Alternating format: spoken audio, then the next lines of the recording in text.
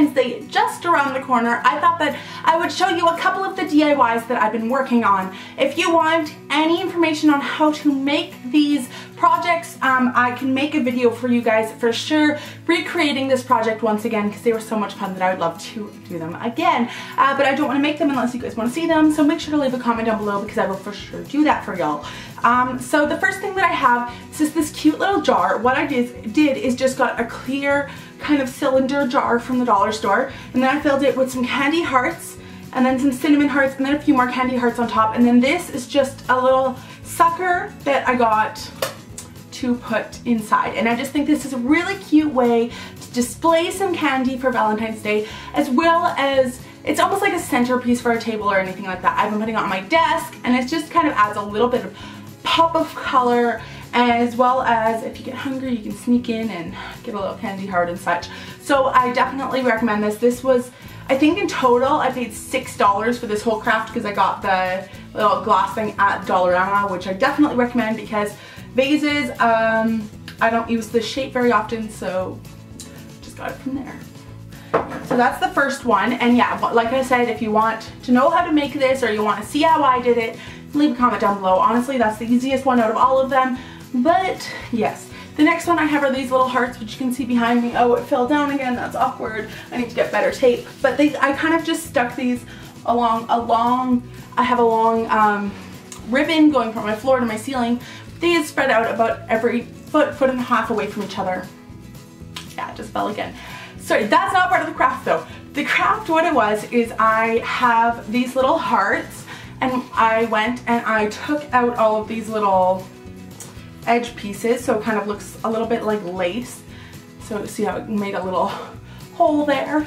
And then what I did is I took, sorry, um, some tissue paper and just went and crumpled it up. So I made these little balls of tissue paper and then I just hot glued them onto the heart. And I think that they just look really cute and crafty and they add a little bit of dimension to crafts because I find a lot of the crafts I've made are really two-dimensional kind of thing. I wanted more of a three-dimensional kind of craft and I think these are really cute and super inexpensive. So, and they were kind of fun. It was kind of relaxing. Sit there and roll up tissue paper and then glue them all on while watching a TV program. So obviously while watching The Bachelor because seriously guys, I love me some Juan Pablo. If you love Juan Pablo, make sure to thumbs up this video because Juan Pablo is a god, I swear. Like, whew.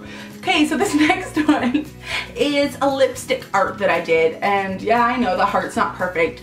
First try though, and I'm really quite impressed with how it turned out. So what it is, is it is just a basic frame that I picked up and then it has like the little border part and on the border part, I just went and did a few little kisses because it, was just too plain with just the art in the middle. And then I wrote love with lipstick down at the bottom. And then in here, I don't know if you're gonna be able to see, it's good, there we go. I drew a heart doing different lines of different colors of lipsticks that, that I've been currently wearing. So I picked an orangish color, I picked a bubblegum pink, um, a fuchsia type color, uh, purplish, and then my favorite deep red color. And I just went in order and kept on drawing these lines to make this heart super easy, guys. And I think it's something really creative for wherever you do your makeup. So this is my desk that I do my makeup. So if it's on here, I feel like it just adds a little element and it's more unique than something store-bought and I really, really like it. The next thing I have are these little animal crafts. I did one for me as well as one for my sister and then I also have to make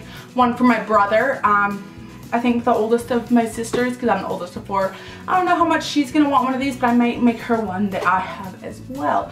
But for my sister I just made, because she is five, I wanted to do something kind of cartoony so I just did a cartoon owl that says I will always love you and it's blue and purple background and it's just kind of yeah, I just had fun making this one. It's just kind of a cutesy, crafty, kid looking like poster. So that's that was fun. And then the one that I made for myself that I'll probably be making for my oldest of my younger sisters um, is this one and I really like how this turned out and says I love you dearly. Get it because it's a deer. This is probably one of my favorite decor pieces that I've made in a really long time for any holiday and I feel like I can keep this up even after Valentine's Day.